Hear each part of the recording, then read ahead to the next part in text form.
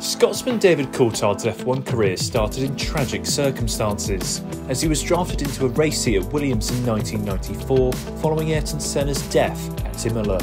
To further complicate matters, he had to share his seat with Nigel Mansell throughout that year. He departed Williams after a 95 season which showed pace and inconsistency in equal measure, including a maiden victory in Portugal. He then spent the next nine seasons at McLaren, picking up a further dozen GP wins and being a title challenger on numerous occasions.